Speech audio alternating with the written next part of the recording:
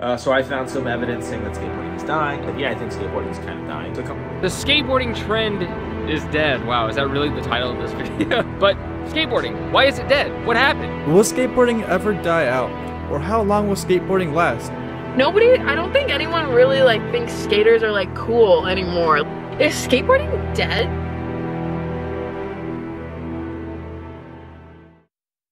Ah, skateboarding. Just like the world since the beginning of its existence, people have been trying to predict its demise. But being someone who has seen at least one fall in skateboarding's popularity, I don't fear it. I mean, if I was making a paycheck from it, maybe I'd be a little bit worried financially, but from a uh, pure aspect of being concerned for the well being of skateboarding, no, I wouldn't be concerned. You see, in the 90s and early 2000s, we were uh, what the kids these days called lit AF.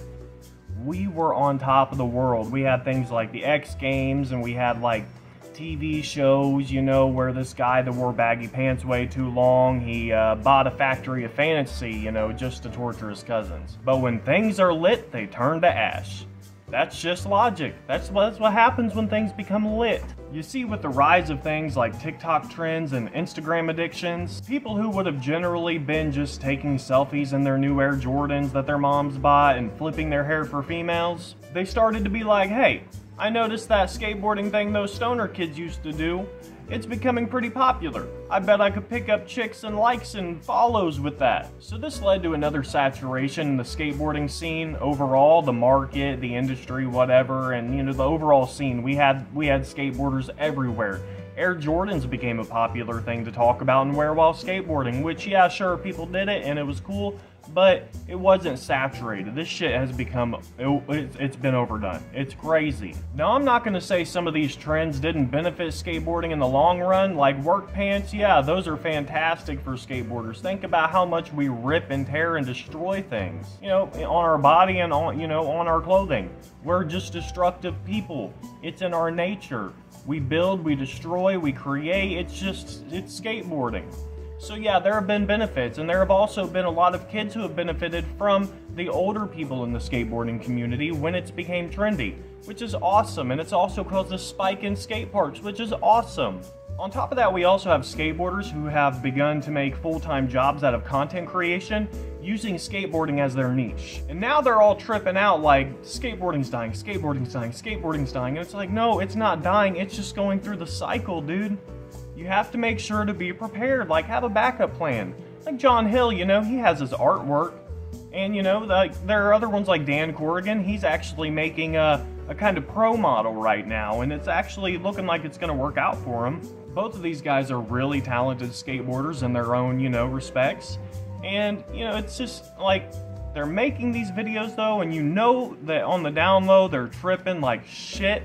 The trendiness of skateboarding is dying, and I based my whole career so far off of content creation.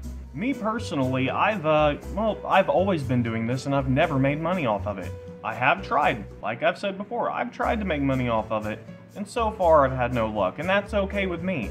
Because I'm not suffering financially, I'm not, you know, wealthy by any means, but I'm not, I'm not, I'm not suffering.